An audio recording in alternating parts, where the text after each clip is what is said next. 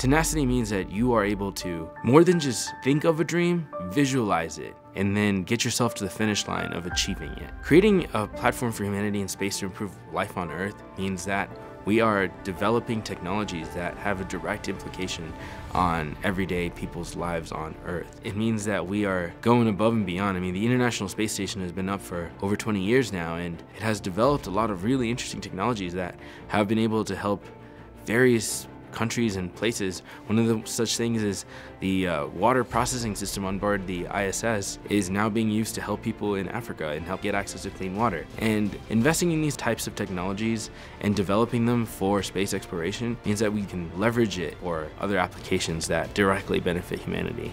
The Life Habitat is a multi-story module that will be the future of how humans habitate in space. So the beauty of it is that it can launch on any rocket fairing, and once it gets out into space, it can just unfold and be a much larger volume than any other habitat that ever existed before it, and will be an incredible feat once we accomplish it. With all the stuff that we're doing with cruise systems and the Life Habitat, I'm on the forefront of designing how humans will live and work in space.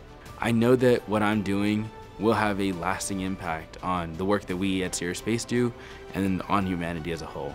That, that's all I ever wanted, to use my skills and my time here on Earth to make the world a better place.